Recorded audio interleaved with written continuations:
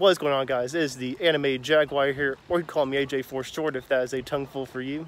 And today, we're going to do the filming locations of The Truman Show here in Seaside, Florida, Santa Rosa Beach, whatever you call it. It's the same to me.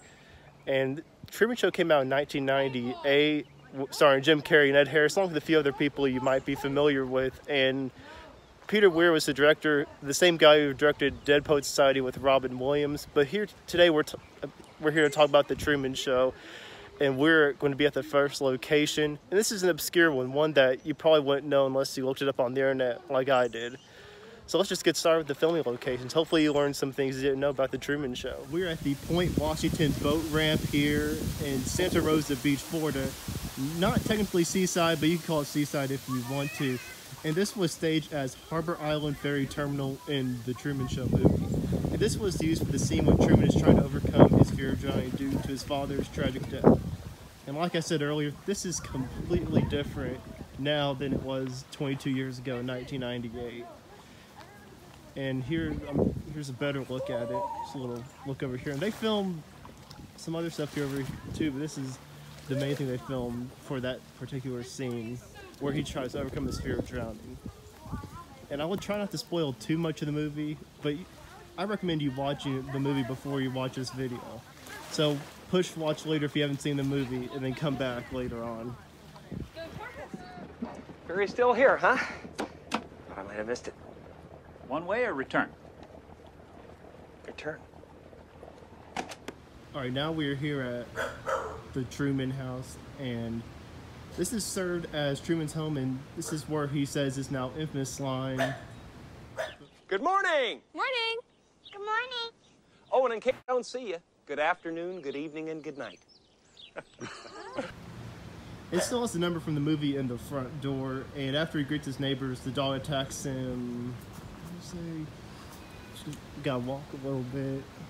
The dog attacks him around here. You'll see that footage in just a minute. Someone actually lives here now. Truman. Morning, Spencer. Hey, Pluto. Oh, no, no, no. Get down. He won't hurt you. Get down. Yeah, I know. It's just me. Come on, Pluto. The house still sports the same designs as it did 22 years ago. However, you may not recognize the house the way it appeared in the film. The lush garden of native plants from the house has been restored, and the film set designers had replaced it with a carpet of Kentucky bluegrass to make it look more like a typical home in suburbia. So this is Truman's home, and there are also a few other scenes filmed here, and I will you'll see that in just a moment.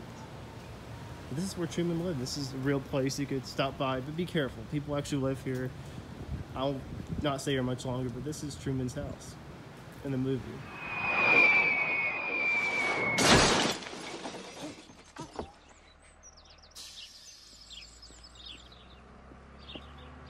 Here's another angle of the public square, and this is where we were first introduced to Sea Haven. It's the perfect version of small town Americana, and director Peter Weir's wife felt the same way when she scouted Seaside before it become the hit movie. This is what we can see. It's from a different angle, but you can figure it out yourself.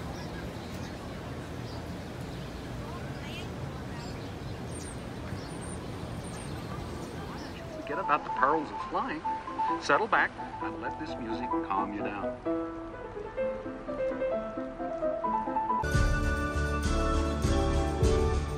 We are now at Coleman Tower, and this landmark can be seen multiple times throughout the movie. Jim Carrey's car pulls up, and this can be seen behind them. And during the holidays, Seaside strings the entire tower with white lights. Year round, it serves as public beach access to Sorry all. about that, folks. I guess we picked up a police frequency or something. It sometimes happens, and it can drive you crazy.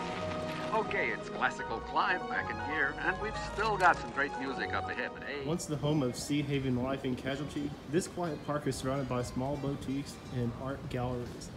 An entry gate now shelters the park entryway, and the Life Casualty building site is now home to small rolling hills and a trail that snakes through oak and pine trees.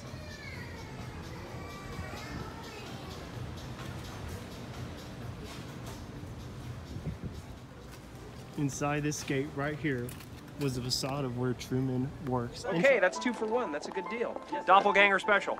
This is used for the scene when Jim Carrey's walking to work and two guys push him against the wall in front of the Kaiser chicken advertisement. The wall is not here anymore, but this was where they filmed that scene, and I can tell because of this. This was in the movie, and it still remains today.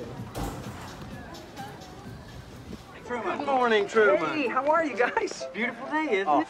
always. Uh, and how's your lovely wife? Good. The Rubio Architect side, not a real business, but it's still here from the film. It's been here 22 years. They left it here. So this is film history right here. You could tell it's not real because in the back, it's nothing. It's nothing. And this was used in the background of the Hey, fellas, going in? Go ahead. Now we are at Modica Market, the bustling grocery store from The Truman Show. It's clearly as busy as ever, and you can snap your photo in front of an official movie poster if you'd like. Uh, that's inside, so come with me if that sounds interesting to you.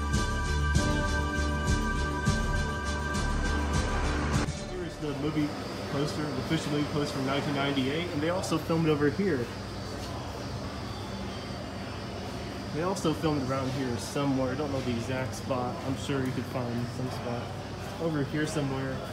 But it was a vending machine. Obviously, there's no vending machine in here, so it was obviously making the film. They filmed inside here. They used the ladder. Here's the poster in Modica Market. It's a real place. You could buy some stuff. There's plenty of stuff you get here. They get you all set up. It's hard to tell. They look just like regular people. How about those two? I don't know. Could be. We are now at the Tupelo Street gazebo. When the truth of Truman's situation begins to sink in, Truman panics and begins to drive around and around and around the small gazebo on Tupelo Street. And here's a fun fact that you may not have known. The town founders of Seaside, Robert and Daryl Davis, were married in this exact gazebo. I'm being spontaneous!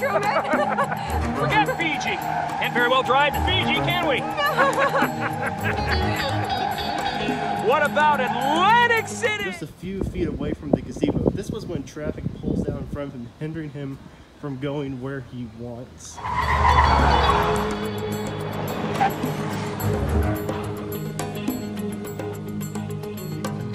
Locked it every turn.